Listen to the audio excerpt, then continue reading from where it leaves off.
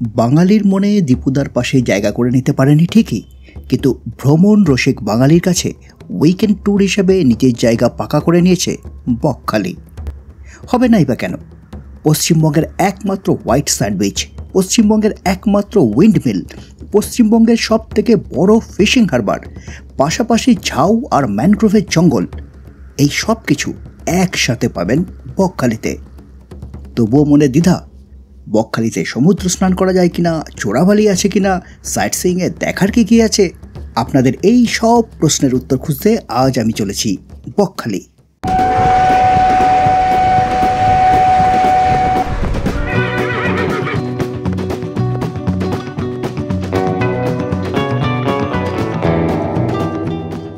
শহর ছাড়িয়ে বহু দূরে আমাদের গাড়ি দিচ্ছে পারি ক্রমে ক্রমে শহরের বহুতল সরে গিয়ে জানলার দখল নিল সবুজ গাছের দল। ট্রেনে বকখালি যেতে হলে শিয়ালদা সাউথ সেকশন থেকে লোকাল ট্রেন ধরে পৌঁছতে হয় নামখানা। সেখান থেকে টোটো কিংবা বাস ধরে বকখালি। নামখানা পৌঁছতে সময় লাগে দু ঘণ্টা চল্লিশ মিনিট। ভাড়া জনপ্রতি পঁচিশ টাকা। শিয়ালদা থেকে সকাল সাতটা চোদ্দোর নামখানা লোকাল ধরতে পারলে সব থেকে ভালো হয়। আমরা নটা ষোলোর নামখানা লোকাল ধরেছি। শিয়ালদা থেকে নামখানা লোকালের টাইম টেবিল দিয়ে দিলাম। এছাড়াও ধর্মতলা থেকে বাসেও সরাসরি পৌঁছানো যায় বকখালি। সময় লাগে সাড়ে চার থেকে পাঁচ ঘণ্টা, ভাড়া একশো দশ টাকা। প্রথম বাস ছাড়ে ভোর সাড়ে চারটে, তারপর সারা দিনে পরপর অনেকগুলো সরকারি বাস এই রুটে চলে। ধর্মতলা থেকে বকখালির সরকারি বাসের সময়সূচি দিয়ে দিলাম।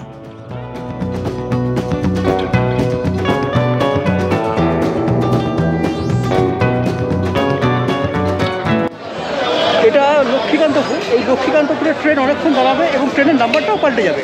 একটা দরকারি কথা বলে রাখি। শিয়ালদা থেকে নামখানা যাবার বেশ কিছু ট্রেন প্রথমে শিয়ালদা লক্ষ্মীকান্তপুর লোকাল হয়ে লক্ষ্মীকান্তপুর পর্যন্ত আসে। তারপর নাম্বার পাল্টে লক্ষ্মীকান্তপুর নামখানা লোকাল হিসেবে নামখানা পর্যন্ত যায়। যাত্রীদের অবশ্য ট্রেন থেকে নামতে হয় না।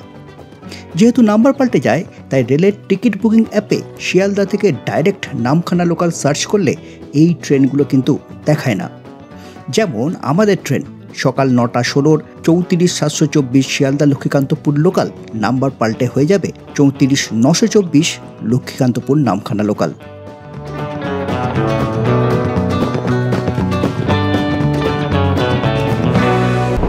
পথে বহুবার আনাগোনা। এসে গেছি নামখানা। বারোটা দশ বাজছে, আমাদের ট্রেন নামখানা ঢুকছে। মৌসুনি মৌসুনি যাওয়ার সময়ও এই নামখানাতেই নেমেছিলাম। এবার বকখালি যাব, এই নামখানাতে নেমেই। তো আমরা পৌঁছে গেছি নামখানা। তিন রকমভাবে এখান থেকে বকখালি যাওয়া যায়। এক, নামখানা স্টেশনের বাইরেই টোটো পাওয়া যায়। সেই টোটো ধরে বকখালি যেতে পারেন। ম্যাজিক গাড়ি পাওয়া যায়, ম্যাজিক গাড়িতেও যেতে পারেন। কিংবা এখান থেকে হেঁটে বা টোটো নিয়ে নামখানা বাস স্ট্যান্ডে চলে যাবেন। নামখানা বাস স্ট্যান্ড থেকে বাস ধরে বকখালি। তো চলুন, বাইরে আমাদের গাড়ি বুক করা আছে। সেই গাড়ি বাইরে ওয়েট করছে। নামখানা স্টেশনের বাইরেটা আপনাদের দেখাই। দারুণ লাগে দারুণ লাগছে। বসন্তকাল, সাজানো হয়েছে। অপূর্ব লাগছে।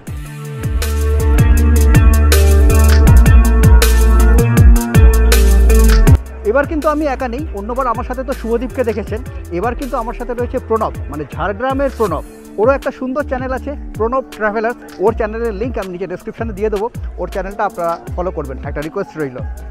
এই স্টেশন থেকে বাইরে বেরিয়ে এসেই হচ্ছে টোটো স্ট্যান্ড টোটো পুরো রিজার্ভ করে নিতে পারেন। ওই দিকে হচ্ছে স্টেশন ওই স্টেশন থেকে হেঁটে আমরা এইটুকুনি রাস্তা চলে এলাম। ওখানে ভাড়া বলছিল বকখালি টোটোর ভাড়া হচ্ছিল তিনশো টাকা।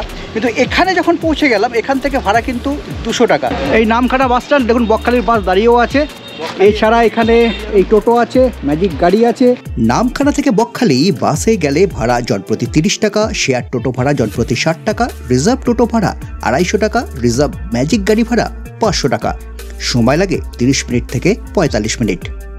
আমাদের গাড়ি রিজার্ভ করাই আছে বকখালির জন্য। এখান থেকে গাড়িতে সময় লাগবে আধ ঘণ্টা মতো, তাই তো? সামনেই মানে নামখানা বাস স্ট্যান্ডের সামনেই হচ্ছে হাটানিয়া দোয়ানিয়ার ব্রিজ। হাতানিয়া দোয়ানিয়া নদীর উপর ব্রিজ হবার পর বকখালি পৌঁছানো অনেক সহজ হয়েছে। মৌসুমী আইল্যান্ড যাওয়ার সময় এই রাস্তাতেই যেতে হয়।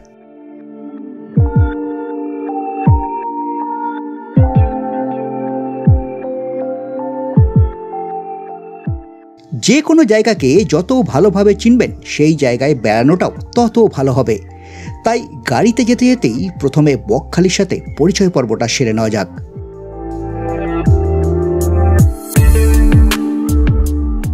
আজ থেকে প্রায় একশো কুড়ি বছর আগে বাংলার লেফটেন্যান্ট গভর্নর ছিলেন স্যার অ্যান্ড্রু ফ্রেজার। সেই সময় এই জায়গাটার নাম ছিল নারায়ণীতলা। জায়গাটা ফ্রেজার সাহেবের খুব পছন্দ হয়। তিনি এখানে অসুস্থ রোগীদের জন্য একটা আরোগ্য নিকেতন বানাতে চেয়েছিলেন। যদিও সেটা হয়নি কিন্তু এই অঞ্চলের পশ্চিম দিক পরিচিত হয়ে ওঠে ফ্রেজারগঞ্জ হিসেবে। ধীরে ধীরে জনবসতি এই অঞ্চলের দক্ষিণ দিকেও প্রসারিত হয়। সৃষ্টি হয় বকখালির। ব্রিটিশ জামানায় এখানকার পুরো জায়গাটা সার্ভে করেছিলেন হেনরি সাহেব। তার নামেই এই দ্বীপের পূর্ব দিক হেনরি আইল্যান্ড নামে পরিচিতি লাভ করেছে। আমরা বকখালি প্রায় এসে গেছি। আমরা পৌঁছে গেছি বকখালি। কারণ দূর থেকে দেখতে পাচ্ছি উইন্ডমিলের টাওয়ার এই এই রাস্তাটা চলে যাচ্ছে থানার দিকে। পুরো পশ্চিমবঙ্গে শুধুমাত্র বকখালিতেই দেখতে পাবেন এই উইন্ডমিল আমরা আরও কাছ থেকে দেখব কিন্তু সবার আগে হোটেলে পৌঁছে ফ্রেশ হব।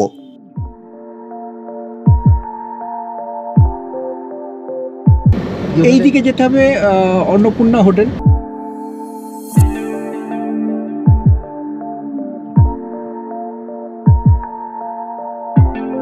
আমরা পৌঁছে গেছি আমাদের হোটেলে হোটেল অন্নপূর্ণা। তো চলুন এখন রুমে যাই ফ্রেশ হয়ে তারপরে আমরা এই জায়গাগুলো ঘুরতে বেরোবো। করোনার কোনো ডকুমেন্ট কি লাগছে? করোনা লাগছে।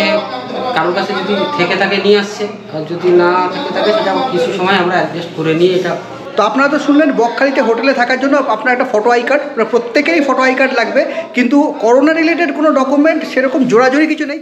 আমাদের রেজিস্ট্রেশন হয়ে গেল আমাদের রুমটা উপরে। তো চলুন আমরা রুমটা দেখি। দোতলায় আমাদের রুম বাহ, এখানে বেশ সুন্দর টাইলস বসানো আছে। পুরো মেঝেটা খুব ভালো। আমাদের একশো সাত একশো সাত নম্বর রুমটা হচ্ছে আমাদের, বাহ, বেশ বড় বেশ বড় সড়ো রুম মানে এখানে যে খাটটা রয়েছে মানে চারজন একসাথে শুতে পারবে। বিশাল খাট, এবং তার চেয়েও বড় ব্যাপার মানে যেটা আমার সবচেয়ে ভালো লাগছে, একদম ধপধপে সাদা, বিছানার চাদর, বালিশ, টাওয়েল, তার সাথে কম্বল দেওয়া আছে, এবং মেঝের যে টাইলসগুলো বসানো আছে, সেগুলোও খুব সুন্দর। বাইরে ছোট্ট একটা ব্যালকনির মতো করা আছে। দেখাই। এই হচ্ছে বাইরে ব্যালকনি। যে রাস্তাটা করে আমরা এলাম, সেই রাস্তার ওপাশটাই হচ্ছে সমুদ্র, এবং হোটেলগুলো এই রাস্তাটার দুপাশে। বকখালি বিচের কাছেই বাস স্ট্যান্ড থেকে শুরু করে বকখালি থানা পর্যন্ত রাস্তার দুপাশে প্রায় পঁচাত্তরটা হোটেল আছে। একেবারে বিচের উপরে আছে পশ্চিমবঙ্গ পর্যটন দপ্তরের বালু তট। বিচের কাছের হোটেলগুলো স্বাভাবিক কারণেই ভাড়া বেশি। কিন্তু বিচ থেকে কিছুটা দূরে বেশ ভালো হোটেল খুব কম ভাড়ায় পাওয়া যায়, যেমন আমরা আছি। এই হোটেল অন্নপূর্ণাতে ঘর ভাড়া শুরু তিনশো টাকা থেকে। আমরা যে ঘরে আছি তার ভাড়া ছশো টাকা। তিনশো টাকা রুমগুলো পরে আপনাদের দেখাচ্ছি। আর একটা কথা, হেনরি আইল্যান্ডেও দারুণ কিছু থাকার জায়গা আছে। সেগুলো কাল যখন সাইট সিংয়ে যাব, তখন দেখাবো। তো আমাদের হোটেল হোটেল অন্নপূর্ণা, এটা তো দেখালাম। এবং এই হোটেলের যে কন্ট্যাক্ট ডিটেলস সেটা নিচে দিয়ে দেবো। আপনারা চাইলে সরাসরি যোগাযোগ করে দিতে পারবেন। তো এখন খেয়ে নিই, দেড়টা বাজছে। এখানে খাওয়ার জন্য কিন্তু রুম সার্ভিস আছে। আমরা লাঞ্চটা রুম সার্ভিসই অর্ডার করেছি। অবশ্যই এদের নিজস্ব কিচেন নেই যে রেস্টুরেন্ট আছে বনশ্রী রেস্টুরেন্ট সেখান থেকেই খাবার আসে। এই ভাত ডাল তরকারি আলু ভাজা একটু স্যালাড এই মাছের কালিয়া আর তার সাথে পাঁপড়।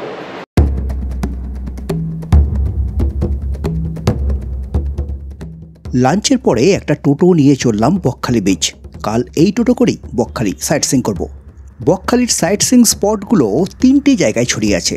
এক বকখালি বিচ আর বাস স্ট্যান্ডের কাছে আছে চারটে স্পট দুই হেনরি আইল্যান্ড এবং হেনরি বিচ আর তিন ফ্রেজারগঞ্জের আশেপাশে চারটে জায়গা।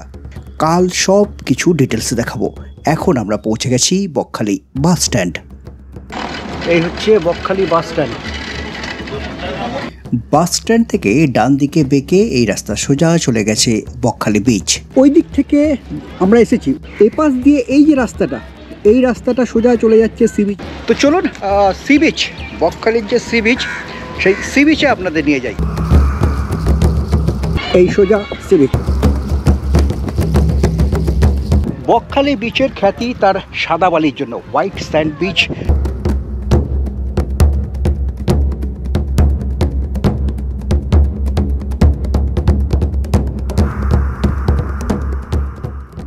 বকখালি সাদা বালির বিচের রহস্যটা আপনাদের একটু বলি। আমরা তো জানি, বড় পাথর ভেঙে ভেঙে ছোট পাথর, সেখান থেকে নুড়ি পাথর, সেখান থেকে তৈরি হয় বালি। এই সোর্স রক মানে যে পাথর থেকে বালি তৈরি হচ্ছে, তার রঙের উপর নির্ভর করে বালির রং। সোর্স রক যদি স্যান্ডস্টোন হয়, তাহলে বালির রং হয় লাল, যেটা আমরা বেশিরভাগ বিচেই দেখি।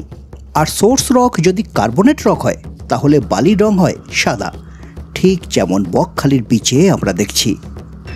এখন ভাটা চলছে সমুদ্র অনেক পেছনে। প্রায় এক কিলোমিটার তো হবেই। জোয়ারের সময় এই যে সামনে একটু জল দেখা যাচ্ছে, এই জলটা পেরিয়ে যেতে হয়।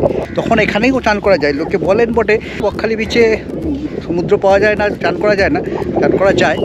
বকখালিতে জোয়ারের সময় সমুদ্রের জল কাছে আসে। সেই সময় সমুদ্রে স্নান করা সুবিধাজনক। প্রতিদিন দুবার করে জোয়ার আসে। তবে জোয়ারের সময় প্রতিদিন আধ ঘণ্টা করে পিছিয়ে যায়। বকখালিতে জোয়ারের সঠিক সময় জানার জন্য গুগলে high tide today at Bakkhali লিখে সার্চ করুন। তারপর টাইটসচার ডট কমের লিঙ্কে ক্লিক করে আজকে জোয়ার ভাটার সঠিক সময় পেয়ে যাবেন। এই সময়গুলোতে জল সব থেকে কাছে আসবে আর এই সময়গুলোতে জল সব থেকে দূরে চলে যাবে। এই বিচের যে বাঁধানো অংশ, সেই বাঁধানো অংশে যে স্টলগুলো আছে, সেই স্টলগুলো কিন্তু দিনের বেলাতেও খোলা থাকে সন্ধ্যেবেলাতেও খোলা থাকে। কিন্তু বিচের উপরে মানে যেখানে বালি, বালির উপরে যে স্টলগুলো, সেই স্টলগুলো কোনো এক জাদুকাঠি ছোঁয়ায় দিনের বেলায় ঘুমিয়ে যায়, রাত্রিরে মানে সন্ধ্যেবেলাতেই জেগে ওঠে। আর এই আমার পেছনে, এটা হচ্ছে বকখালির একটা সাইনেজ এই সাইনেজ এখন সব জায়গাতেই আই লাভ বকখালি।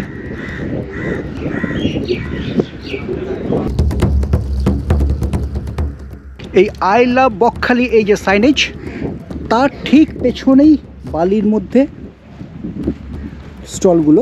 তো এই যে স্টলগুলো, এই স্টলগুলোতে মূলত যেটা পাওয়া যায় সেটা হচ্ছে যে বিভিন্ন রকমের মাছ ভাজা সন্ধেবেলায় আমরা আসব সামুদ্রিক মাছের স্বাদ উপভোগ করার জন্য। আপনাদের সবাইকে নিয়ে সন্ধেবেলায় এই বিচে অনেকক্ষণ সময় কাটাবো।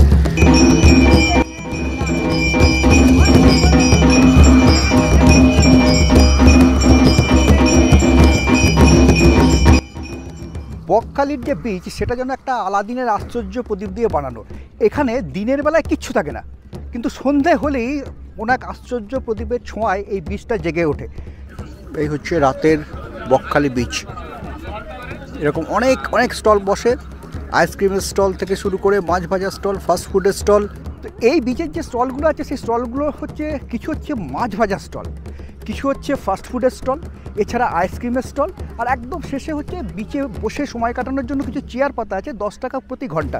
সেই হিসাবে চেয়ারগুলো পাওয়া যায়। তো এই দিকের এই যে প্রথমের যে স্টলগুলো, এই শাড়ির সব স্টলগুলো, এই স্টলগুলো হচ্ছে ফাস্ট ফুডের স্টল। এর পরের যে রোটা, এর পরের রোতে হচ্ছে মাছ ভাজা, বিভিন্ন রকমের মাছ ভাজা। তারপরে হচ্ছে ভুট্টার কিছু স্টল আছে, তারপরে স্টলগুলো হচ্ছে আইসক্রিমের স্টল। আর একদম শেষ মাথায় হচ্ছে চেয়ার। চেয়ারে বসে সময় কাটানো যায়, ঘণ্টা পিছু দশ টাকা করে। তো কালকে সকালবেলা তো আমরা এই বিচে আবার আসব। জানি তখন দেখবেন এখানে কিচ্ছু নেই। মাছে, ভাতে, বাঙালি। আমরাও বকখালি এসে মাছ খাব না, সেটা তো হতে পারে না। তবে ভাত দিয়ে খাব না। এই সন্ধেবেলায় বকখালিতে মাছ ভাজা, সেটা খাব। আপনাদেরও দেখাবো কত রকমের মাছ পাওয়া যায়, কি তাদের দাম।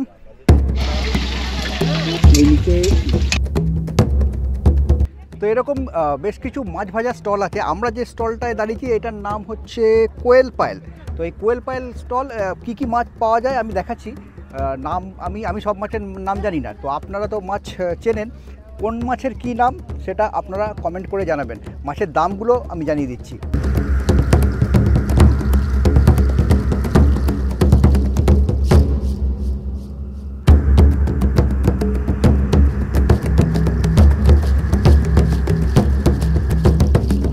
এই যে কাঁকড়াগুলো আছে এটার দাম কত? একশো টাকা প্লেট একশো টাকা প্লেট কটা আছে? চারটে আছে। লবস্টার যেগুলো? দু পিস একশো দু পিস দেড়শো? হ্যাঁ এগুলো গলদা এগুলো এগুলো এগুলো কত করে? এই পাশেরটা? সমুদ্রের বেলে। এগুলো? চল্লিশ টাকা পিস আর এটা পমপ্লেট বড় সাইজ? তো এটা এটা এটা এটার কত? দেড়শো টাকা পিস দেড়শো টাকা পিস এটা এটা কি এটা কি ভেটকি? ভেটকি। কত? মানে দুটো আলাদা আলাদা? হ্যাঁ মানে যত বড় তত দামটা বেশি। হ্যাঁ। আর এটা তো বাঁশ পাতা মাছ। এটা চল্লিশ টাকা পিস বললে। হ্যাঁ। এগুলো এগুলো? ছোট ভোলা আচ্ছা। ছোট ভোলা কত? ওটা পঞ্চাশ টাকা প্লেট।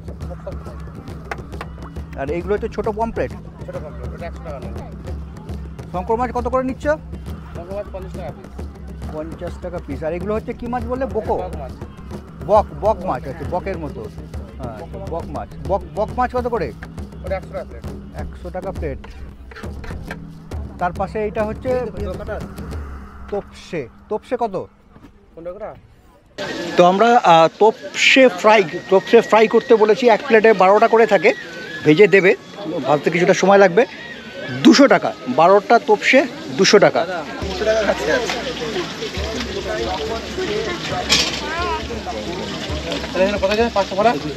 গরম গরম তোপসে ফ্রাই, দারুণ টেস্টটা হয়েছে। এই কোয়েল পায়েলের যে স্টল, সেখান থেকে আমরা মাছটা কিনেছি। দুশো টাকা প্লেট বারো পিস তোপসে থাকে। তার সাথে এরকম কাসুন্দি দেওয়া আছে, পেঁয়াজ, টমেটো এসব দেওয়া আছে, এগুলো না হলেও কোনো অসুবিধা নেই।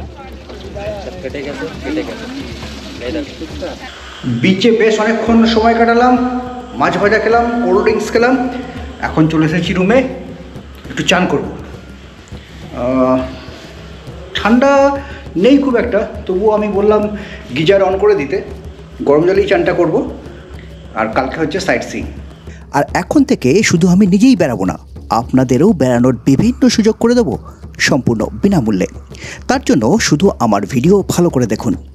বকখালি নিয়ে এই ভিডিওর পরে আসবে আর একটা ভিডিও। এই দুই ভিডিওতে আমি কতবার বকখালি কথাটা বলেছি সেটা কমেন্ট করে জানাতে হবে। সঠিক উত্তরদাতাদের মধ্যে একজন জিতে নিতে পারেন, বকখালিতে আমি যে রুমে ছিলাম, সেই রুমে দুজনে দুরাতের সম্পূর্ণ বিনামূল্যে থাকার সুযোগ। বিস্তারিত জানতে আমার কমিউনিটি পোস্ট এবং ইনস্টাগ্রাম ফলো করুন। তেসরা এপ্রিল দু হাজার বাইশ পর্যন্ত চলছে এমন আরও একটা প্রতিযোগিতা। ডেসক্রিপশন বক্সে সেই প্রতিযোগিতার লিঙ্ক দিয়ে দিলাম। সঙ্গে থাকবেন, ভালো থাকবেন। পরের পর্বে আমরা বকখালি সাইট সিং করব।